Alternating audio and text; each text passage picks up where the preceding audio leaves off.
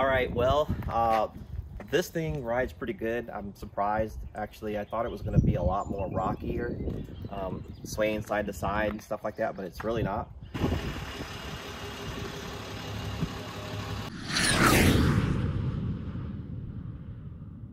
Um, so right now our setup is we have a 2017 Ram 3500 single rear wheel um, with the Cummins Aisin transmission. It's also got the auto leveling system in there.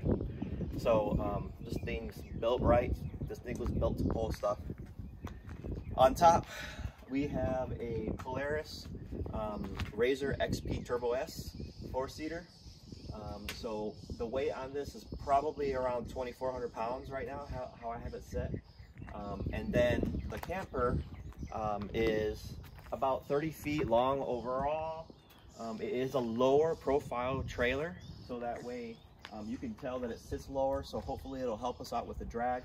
But the, um, I think the weight of this trailer is about 7,500 pounds. Um, so it's not a very heavy trailer. Um, but I do know that my tongue weight is about thousand pounds. So the carrying capacity on this truck is 3,700 pounds. So we're doing really well when it comes to um, our weights and our gross value weights, uh, excuse me, our weights and um, our payload capacity and stuff like that. So I guess what we're gonna do now is we're just gonna go ahead and hook things up and get things going. So this is a Lance camper. Uh, the model is a 2465. We bought this back in 2019. We're the only owners, first owners of it, and it pulls great. Um, it's a beautiful layout, but uh, these things are very rare now because of all of the shorting. Uh, what would you call it? The market? The sh Just like shortages. Shortages and stuff, yeah. So, um, gosh, I think the last time I saw one of these for sale, it was like 70 something thousand dollars.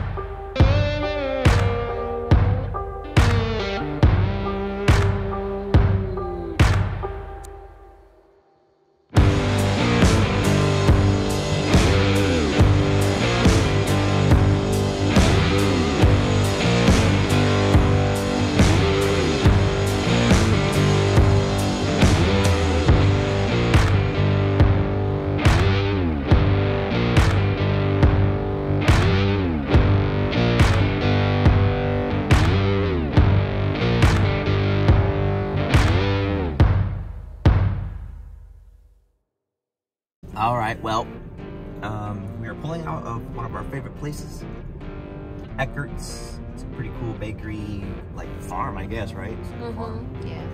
But this thing is definitely like the talk of the town. Everybody keeps looking at it. I feel like we're kind of getting stared at a lot, but I cannot tell you how great this actually rides. It drives very well. Um, I was thinking that there was going to be more um, sway, and because I don't have a weight distribution hitch on or anything.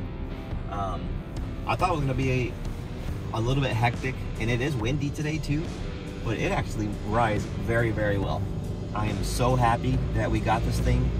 Um, now we can sell our trailer, but obviously some of the things that uh, are different about this as opposed to pulling with or pulling just the camper or driving the truck without the camper or the the RZR um, you have to give yourself a lot more time to stop.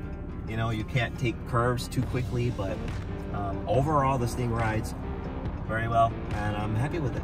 So yeah. That's good.